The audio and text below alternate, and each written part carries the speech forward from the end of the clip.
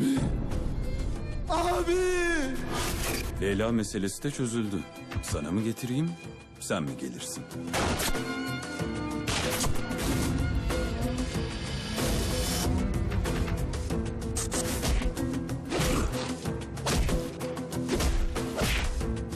Sen birimizin planına dahil olsaydın abiyi vurmayacaktım.